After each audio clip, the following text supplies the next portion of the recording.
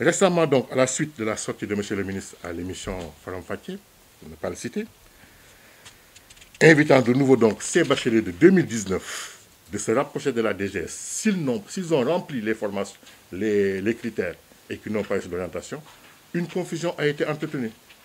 Tout le monde a pensé que nous sommes en train de reprendre le processus de l'orientation des bacheliers. Non, nous ne reprenons pas. Nous disons que ceux qui ont été effectivement, qui ont reçu effectivement une notification, mais qui n'ont pas été affectés quelque part, cela doit venir. Alors, le 4 février, c'est récemment, nous avons reçu 74 bacheliers de 2019 et 12 bacheliers de 2020 qui sont venus s'inscrire. Après vérification, 19 bacheliers de 2019 ne se sont jamais présentés dans la plateforme Campus.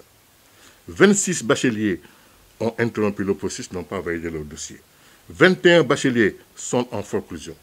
6 bacheliers ont donné des numéros de table erronés, où le numéro n'existe pas. Deux bacheliers ont été effectivement orientés. Ils ont effectivement payé.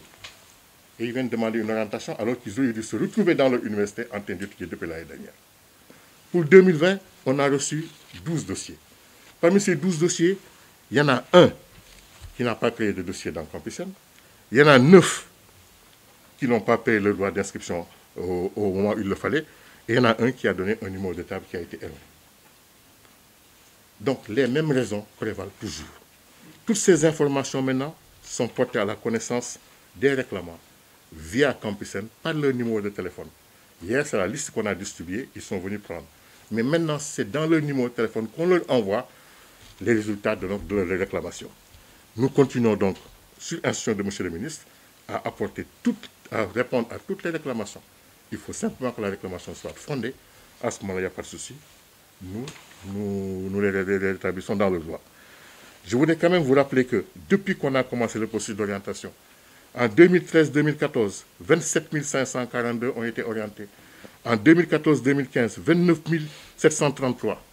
2016-2017, 27 975. 2017-2018, 34 275. 2018-2019, 49 152.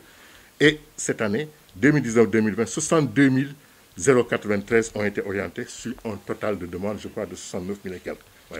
Ces chiffres montrent donc que, d'une façon constante, les universités donnent des places aux bacheliers pour permettre d'absorber le nombre de bacheliers.